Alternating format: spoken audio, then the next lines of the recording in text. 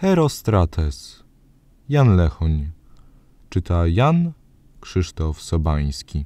Czyli to będzie w Sofii, czy też w Waszyngtonie? Od egipskich piramid do śniegów Tobolska na tysięczne się wiorsty rozsiadła nam Polska, papuga wszystkich ludów w cierniowej koronie. Kaleka, jak bez nocy żołnierze szpitalni, co będą ze łzą wieczną chodzili po świecie. Taka wyszła nam Polska z urzędów powiecie i taka się powlokła do robót w kopalni.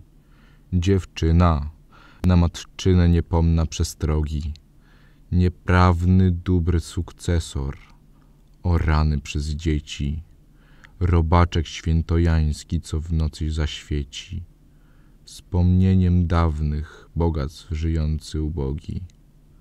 A dzisiaj mi się w zimnym powiewie jesieni, w szeleście rdzawych liści, lecących z kasztanów, wydała kościotrupem spod wszystkich kurhanów, co czeka trwożnej chwili, gdy ciało odmieni. O, zwalcież mi łazienki królewskie w Warszawie, bezduszne zimny rylcem drapane marmury, pokruszcie na kawałki gipsowe figury, a ceres kłosonośną utopcie w.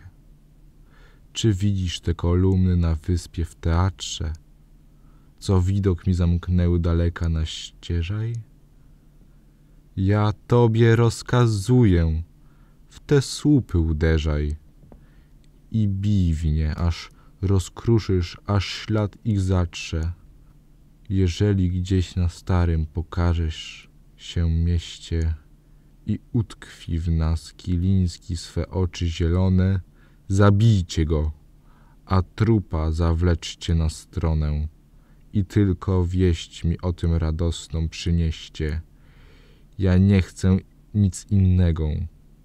Niech jeno mi płacze jesiennym wiatrów gęćba w półnagich bydalach, a latem niech się słońce przygląda w motylach, a wiosną niechaj wiosnę, nie Polskę zobaczę, bo w nocy spać nie mogę i we dnie się trudzę myślami, co mi w serce wzrastają z wątpieniem i chciałbym raz zobaczyć, gdy w przyszłości wyżeniem, czy wszystko w pył rozkruszę, czy Polskę obudzę. Dziękuję za odsłuchanie i za wszystkie subskrypcje. Czytał Jan Sobański. Polskie dzieła wybrane PDW